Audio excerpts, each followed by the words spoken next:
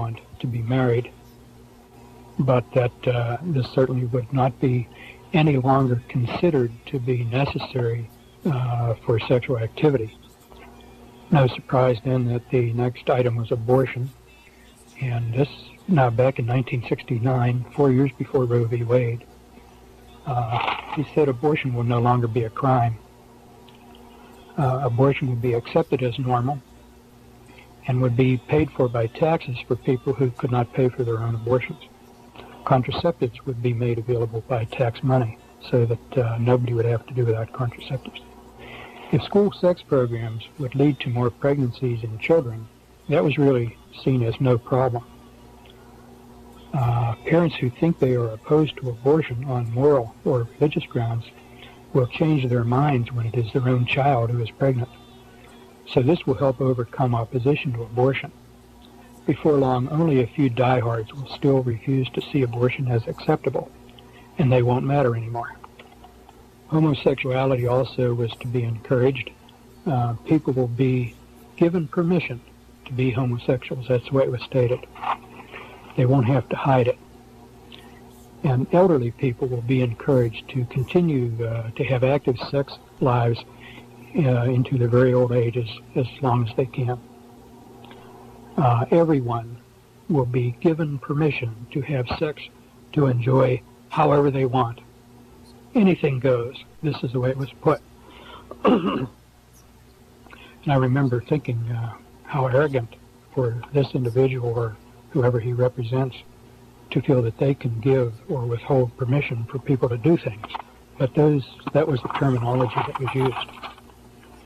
In this regard, uh, clothing was mentioned. Clothing styles would be made more stimulating and provocative. Recall uh, back in 1969 was the time of the, the miniskirt when they were those miniskirts were very very high and very revealing. Uh, he said it's not just the amount of skin that is expressed, exposed, that makes clothing sexually seductive, but other more subtle things are often more suggestive. Uh, things like movement and the cut of clothing and the uh, kind of fabric, the positioning of uh, accessories on the clothing. If a woman has an attractive body, why should she not show it? Was uh, one of the statements.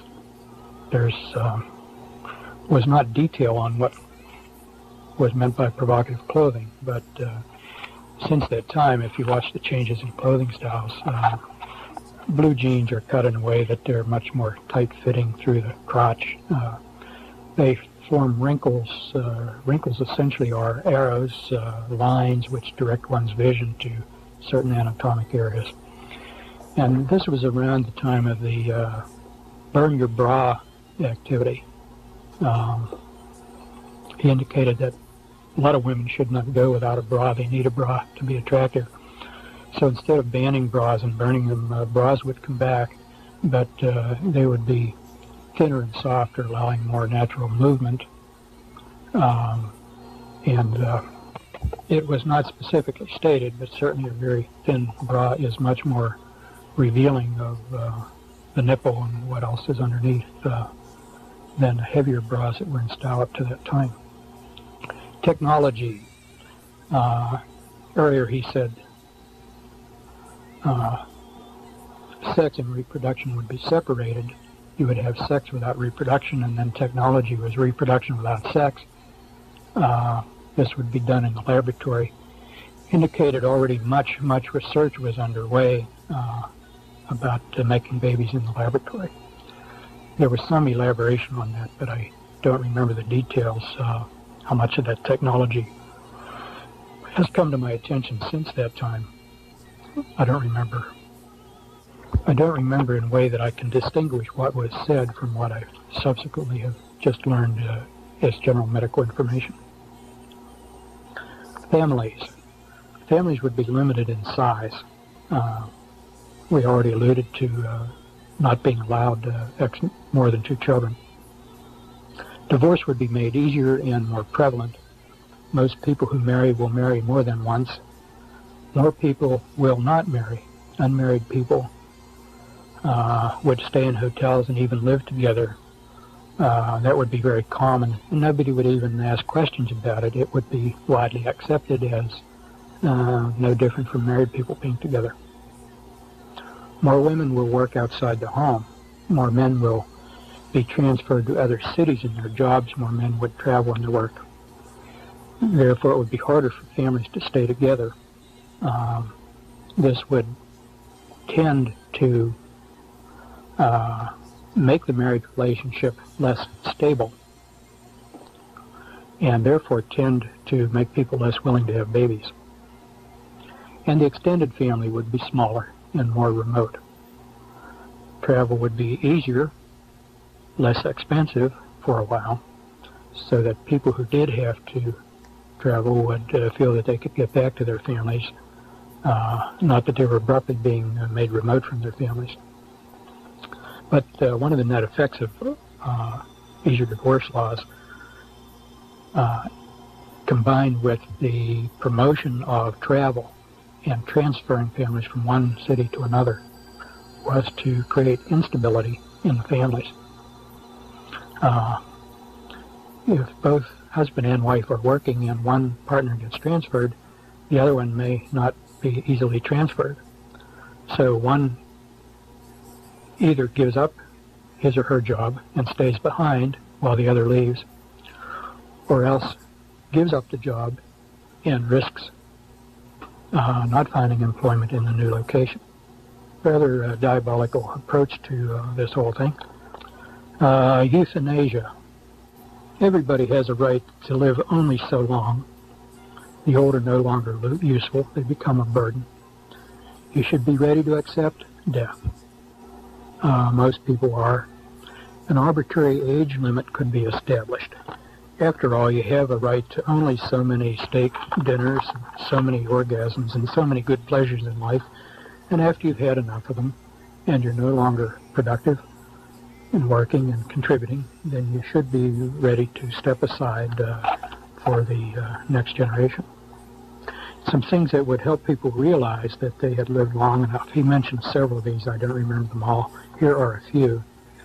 Uh, the use of very pale printing ink on forms that people uh, necessary uh, to fill out so that older people wouldn't be able to read the pale ink as easily and would need to go to younger people for help.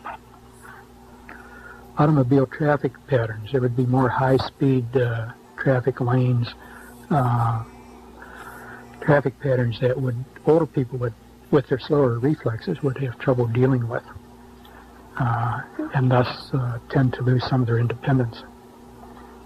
Big item uh, which was elaborated some length was the cost of medical care would be made burdensomely high. Uh, medical care would be uh, connected very closely with one's work, but also would be made very, very high in cost so that uh, uh, it would simply be unavailable to people beyond a certain time. And unless they had a remarkably rich supporting family, uh, they would just have to do it without care. And uh, the idea was that if uh, everybody sees enough uh, what a burden it is on the young to try to maintain the old people, and the young would become agreeable to helping mom and dad along the way, uh, provided that this was done humanely and with dignity. And then the example was uh, there could be like a nice farewell party, a real celebration. Uh, mom and dad had done a good job. And then after the party's over, take the demise pill. The next topic is medicine. Uh, there would be profound changes in the practice of medicine overall medicine would be much more tightly controlled. The observation was made Congress is not going to go along uh, with national health insurance that in 1969 he said is now abundantly uh, evident, but it's not necessary. We have other ways to control health care. Uh, these will come about more gradually, but all health care delivery would come under tight control. Uh, medical care would be closely connected to work. If you don't work or can't work, you won't have access to medical care. Uh, the days of hospitals giving away free care would gradually wind down until that was virtually non-existent. Costs would be forced up so that people won't be able to afford to go without insurance. People pay. You pay for it, you're entitled to it. It was only subsequently that I began to realize uh, the extent to which you would not be paying for it. Your medical care would be paid for by others, and therefore you would uh, gratefully accept on bended knee what was offered to you as a privilege. Uh, your role, uh, re- being responsible for your own care, would be diminished. As an aside here, this is not something that was developed at that time. I uh, didn't understand at the time. But as an aside, the way this works, everybody's made dependent on insurance. And if you don't have insurance and you pay directly, the cost of your care is enormous. The insurance company, however, paying for your care does not pay that same amount. If you are charged, uh, say, $600 for the use of an operating room, the insurance company does not pay $600 on your part. They pay three or $400. Uh, and that differential in billing uh, has the desired effect. It enables the insurance company to pay for that which you could never pay for. They get a discount that's unavailable to you. When you see your bill, you're grateful that the insurance company can do that, uh, and in this way you are dependent and virtually required to have insurance. The whole billing is uh, fraudulent. Anyhow, continuing on now, um, access to hospitals would be tightly controlled. Uh, identification will be needed to get into the building. Security in and around hospitals would be established and gradually increased so that uh, nobody without identification could get in or move around inside the building. Theft of hospital equipment, things like typewriters and microscopes and so forth, would be uh, allowed and uh, exaggerated, reports of it would be exaggerated, so that this would be the excuse needed to establish the need for strict security until people got used to it. Uh, and anybody moving about in a hospital would be required to wear an identification badge with uh, a photograph and telling uh, why he was there, uh, employee or lab technician or visitor or whatever. And this is to be brought in gradually, getting everybody used to the idea of identifying themselves uh, until it was just accepted. This need for ID to move about uh, would start in small ways, um, hospitals, some businesses, but gradually expand to include everybody in all places. It was observed that hospitals can be used to confine people uh, for the treatment of criminals. This did not mean necessarily medical treatment, uh, at at that at that time, I did not know the word psycho prison, as in the Soviet Union, but uh, uh, without trying to recall all the details, basically he was uh, describing the use of hospitals both for treating the sick and for confinement of criminals for reasons other than the medical well-being of the criminal. Definition of criminal was not given. The image of the doctor would change. No longer would the, he be seen as an individual professional in service to individual patients. But the doctor would be uh, gradually uh, recognized as a highly skilled technician, um, and uh, his job would change. The job uh, is to include uh, things like executions by lethal injection. Uh,